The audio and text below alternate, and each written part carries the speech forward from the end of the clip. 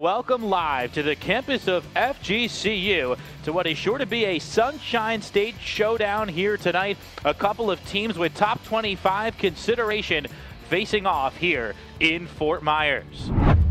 Chris into the box. The header is down and wide. Eagles just missing an opportunity to level this first half. Is Jennings on side? He is. Jennings looking for a hat trick around Vasconcelos, and Vasconcelos with an aggressive stop. Eagles closing, knifing through. The shot is blocked away by Uttil. Drops it back. Here's the shot. A low one is deflected. Steered away for the moment, still loose in the box. Adams turns. Adams shoots. And it's saved. Uttil comes away with it. Mullings has it. Looking to lead Shak Adams. Adams has it. Adams the shot, and the Eagles are on the board.